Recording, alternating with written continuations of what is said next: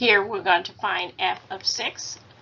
So we're going to go ahead and plug a 6 everywhere where there's an x in the rules so that we can see which one of those rules is true. I provided you with a number line to help you visualize it. Let's go ahead and read these inequalities to see which one is true. The first one says that 6 is less than negative 1. That's not true because 6 is way over here to the right. Negative 1 is to the left. So 6 is not smaller than negative 1. Let's move on to the second inequality.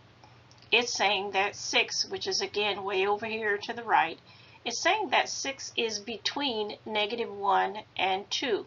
And that's not true either. Let's move on to the last inequality. This one is saying that 6 is greater than 2, and that is true. 6 is bigger than 2. Uh, now, the other part, 6 is equal to 2. That is not true, but remember for inequalities, only one part has to be true to make the statement true.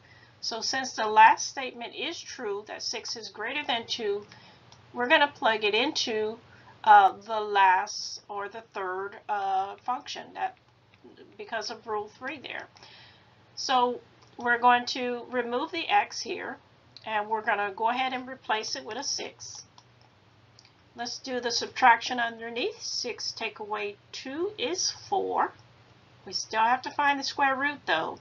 So the square root of 4 we know to be 2, so therefore f of 6 equals 2.